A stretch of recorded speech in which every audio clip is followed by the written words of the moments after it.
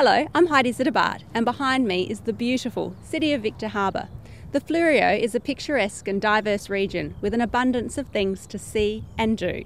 It maintains affordability and is just one hour from Adelaide. So I ask you, why would you want to invest anywhere else? I hope you enjoy the following property presentation, and I'll see you again shortly.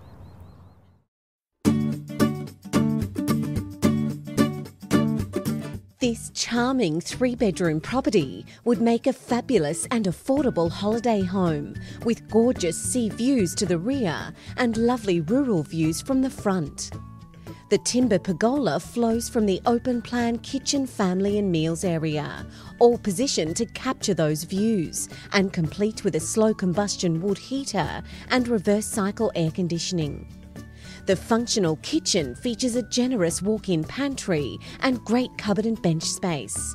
It could easily be modernised with a simple coat of laminate paint. The master bedroom just off the front entry has a delightful bay window and a walk-through dressing area to the two-way bathroom, which features a separate vanity, toilet and bath and shower room. Also offering a spacious laundry and great storage for a small home. The interiors have been repainted, the windows redressed and the bedrooms recarpeted.